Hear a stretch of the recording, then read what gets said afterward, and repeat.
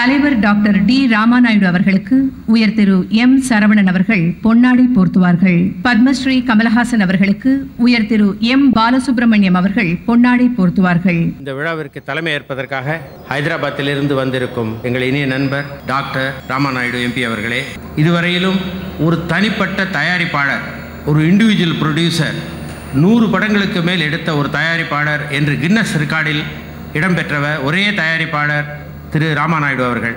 இந்த ஜெமினி படம் எடுக்கிறதுக்கு ரெண்டு பேர் முக்கிய காரணம். ஒருத்தர் என்னுடைய இனிய நண்பர் எல் சுரேஷ் மற்றொருவர் ஆல்பர்ட் தியேட்டர் மாரியப்பன். சரணை பற்றி நான் சொல்லணும். ஒரு அருமையான இயக்குனர். திட்டமிட்டு செய்கிறதுல சரணுக்கு ஈக்குவல் சரண் தான். அந்த அளவுக்கு ஒரு பிளானிங் கதை டிஸ்கஷன் முடிஞ்ச உடனே கம்ப்ளீட்டாக கம்ப்யூட்டரில் சார்ட் போட்டு இத்தனாம் தேதி நம்ம நாங்கள் கம்போசிங் போகிறோம் சார் ரெக்கார்டிங் வச்சுருக்கோம். இத்தனாம் தேதி செட்டுக்கு போகிறோம் டப்பிங் பண்ணுறோம் இத்தனாம் தேதி எஃபெக்ட் சவுண்ட்ஸ் எடுக்கிறோம். ரீ ரெக்கார்டிங் பண்ண போகிறோம் இத்தனை நாள் மிக்ஸ் பண்ணுறோம் ஃபர்ஸ்ட் காப்பி இப்போ ரெடி ஆகும். இத்தனாம் தேதி சென்சார் பண்ணலான்னு கொடுத்தாரு. கிட்டத்தட்ட தொண்ணூத்தொம்பது சதவீதம் அது அப்படியே செஞ்சு காட்டினார். கொடுக்கறது முக்கியம் இல்லை அது செஞ்சும் காட்டினார் சியான் விக்ரம் அவர்கள். ரொம்ப கோஆபரேட்டிவ் அவருக்கு இன்ஸ்பிரேஷன் எல்லாமே அவரே ஒரு மேடையிலே சொல்லியிருக்காரு. கமலஹாசன் அண்ட் ரஜினிகாந்த்னு. அதனால் நான் இந்த படத்து விழாவுக்கு நான் என் பேரை நினைக்கும் போது இம்மிடியட்டாக நினச்சதே எனக்கு கமலஹாசன் தான் தோணுச்சு. நான் உடனே கமலஹாசனை தொடர்பு கொண்டேன். ஆல் த வே பொள்ளாச்சியிலிருந்து இந்த ஃபங்க்ஷன் அட்டன் பண்ணுறதுக்காக இன்றைக்கி மத்தியானம் ஃப்ளைட்டில் வந்து திரும்பி நாளைக்கு மறுபடியும் ஷூட்டிங்கு போகிறாரு அவருடைய தாய் வீட்டு மேலே அவர் வச்சிருக்க பக்திக்கு இது ஒரு ச சிறந்த எடுத்துக்காட்டு. அதற்கு அவருக்கு நான் நன்றி சொல்லணும்.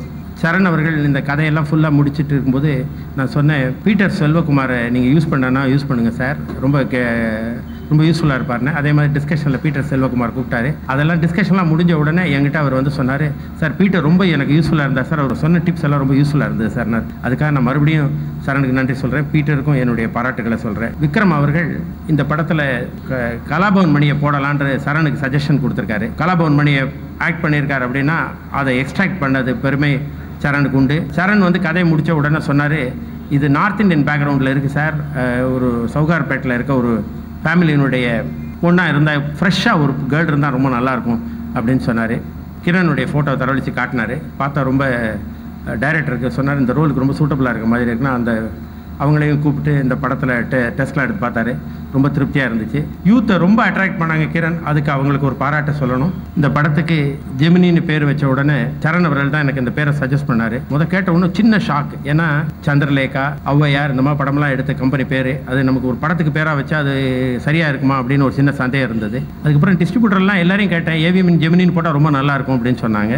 பிறகு பாலு அவர்களுக்கு நான் ஒரு கடிதம் எழுதியிருந்தேன். அவரும் எனக்கு ஒரு பிளஸ்ஸிங்ஸோட எனக்கு ஒரு லெட்டர் அனுப்பியிருந்தார். அவருக்கு என்னுடைய நன்றியை தெரிவித்துக் கொள்கிறேன். படம் டபுள் பாசிட்டிவ் பார்த்தோம். படம் பார்த்து முடிச்சுட்டு அப்போ படம் ஃபுல்லாக முடிஞ்சு போச்சு. ரெண்டே ரெண்டு பாட்டு மாத்திரம் அது சுவிட்சர்லாண்டில் சரண் அவர்கள் ஷூட் பண்ணிட்டு இருந்தாரு. சரணோட தொடர்பு கொண்ட சார் படம் ரொம்ப திருப்தியாக வந்திருக்கு. இருந்தாலும் இந்த படத்தில் ரெண்டே ரெண்டு பெண்மணிகள் தான் இருக்காங்க.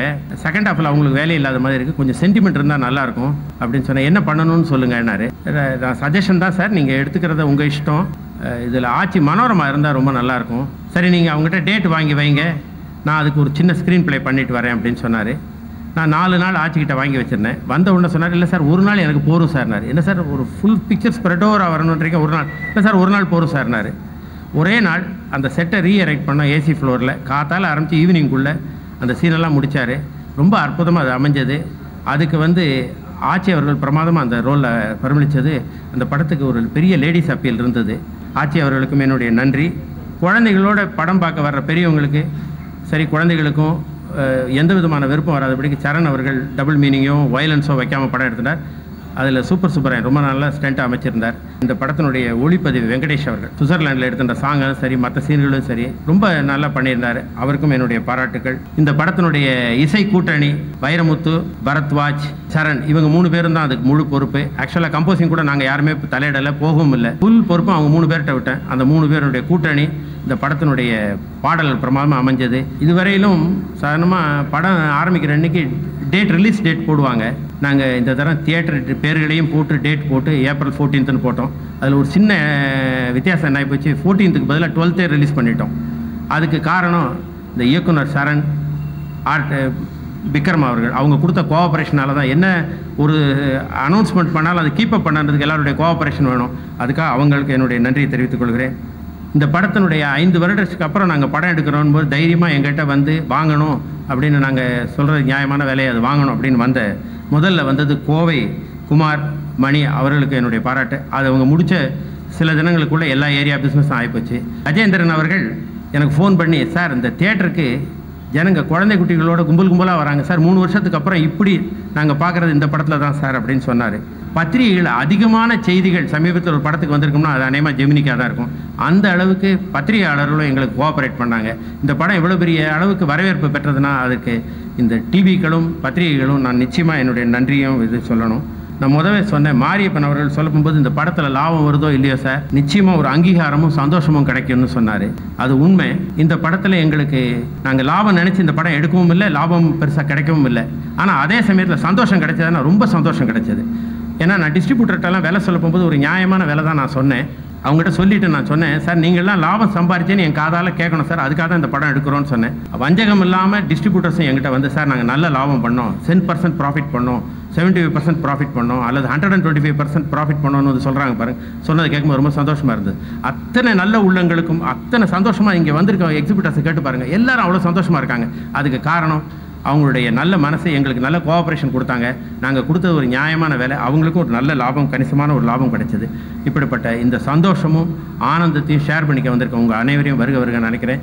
இதனால் கிடைக்கக்கூடிய இந்த படத்தின் மூலமாக கிடைத்த புகழும் பேரும் அல்லது பாராட்டுகளும் அனைத்தும் என்னுடைய தந்தையாருக்கு நாங்கள் சமர்ப்பித்து மேலும் எங்கள் பணியை தொடர நீங்கள் ஆசீர்வதிக்க வேண்டும் என்று கூறி இந்த அரிய சந்தர்ப்பத்தில் வந்து நீங்கள் பாராட்ட வந்த உங்கள் அனைவரையும் வருக வருக என்று வரவேற்று விடைபெறுகிறேன். நன்றி வணக்கம். டாக்டர் டி ராமாநாயுடு அவர்களை தலைவர் உரையாற்ற வருமாறு பணிவுடன் அழைக்கிறேன். I am indeed very happy to be here to share the happiness of the great success of the film Gemini. This occasion is like my homecoming in the industry as I was associated with this organization right from the beginning of the film career. Have great sentimental attachment with AVM Productions. Many of you may not know that the partnership deed of Suresh Productions was prepared in the AVM compound by AVM auditors before the AVM Mayappan sir. In fact, Mr. Mayappan has been my guide, friend and philosopher who taught me the fundamentals of filmmaking and film business. When I completed my Ramudu Bimudu, he sought for the Tamil rights. He offered more money than what Mr. Nagareddy offered. As I had already promised, I went for that. He said, I was a bad businessman for ignoring a better deal that fetches bigger money. He used to tickle me saying I was not good at business deals. He used to tell me always to separate business from friendship. Even this Rajeshwari Kalyana Mandapam, he built on the name of his wife Rajeshwari, inspired me to such an extent that I just followed this and constructed a Kalyana Mandapam in the name of my mother at my native place, Karanchedu. Even the way I gave buildings for colleges and donated for noble causes were all due to his, this inspiration given by AVM Chettiar and his family members and Nagareddy family members. Believe me, it was such a sight here in the past at Madras. Watching so many studios with so many great filmmakers working, it is equally alarming that many of them disappeared and AVM still continues its activities with the same vigor, changing according to times. I am actually going in the same footsteps of AVM even after nearly 40 years of my career as filmmaker. Hero Vikram gave an excellent performance. Director Sharon has done a good job in handling the subject with the perfect balance. AVM is well known internationally not only for its long survival but also excellent contribution to cinema. Latest is this Gemini. One should always learn how to go show down. When things do not go well, AVM stopped for a while and went for the TV medium and proved a great success there too. Once again, I thank the AVM and all the people associated with it for inviting me to preside over the function and share happiness for the success of this film along with you.